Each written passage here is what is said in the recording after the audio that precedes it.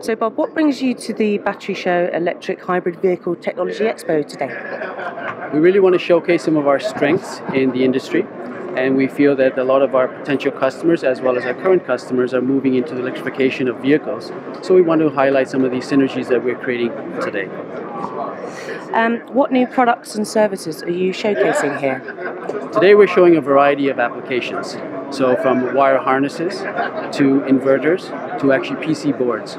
So, the combination of two will give us a more of a holistic application as well as getting involved with those type of technologies. Um, what changes have you seen in the energy storage EV industry in the past five years?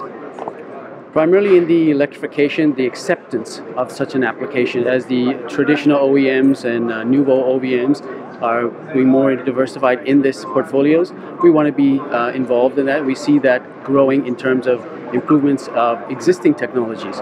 In terms of energy, we do see uh, improvements in um, energy density, uh, different chemistries, different even um, methodologies of uh, energy storages. What trends or new products do you think we'll see more of in 2017? We feel that the trend will be uh, in the sense of discovery of new technologies. We see trends in uh, energy storage. Um, we see trends in the componentry selected in terms of modifications, in terms of cost reductions. So these are ongoing traits that we see in the industry. Um, why is the European market so important to your business? We think electrification in general is a global phenomenon, not a trend itself. Uh, Obviously, Europe is a key market to be in. Uh, we are existing in, in Europe and we want to serve as not only potential customers but also our current customers in this industry.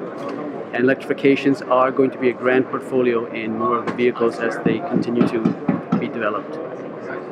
Um, so, what new connections or partnerships are you hoping to make at the show? We are looking for uh, rekindling of our current customers uh, we are looking for uh, developing strategic partners to enhance our product lines and services. And how, how's your experience so far been at the show? We definitely think this show is very focused, the right type of show for people of our background, our product line and services. So in generally, it's quite been quite positive. positive, and as it continues on, I'm sure it's going to be enhancing our uh, coming here.